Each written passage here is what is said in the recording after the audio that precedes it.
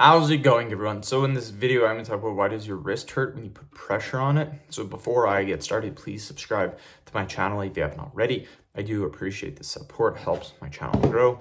The, the issue is either tendonitis or um, a sprain or fracture. What you need to do in both of these situations is to do what's called RICE, rest, ice, compression, elevation. So rest, you wanna give it at least two to three days whatever is causing the pain, let's say you do a lot of typing during the day, you do a lot of writing, whatever, you need to stop doing that for a couple days or you need to do less of it. So if you do it as a day job, so, like you need to type during the day, just try to do less of it if you can.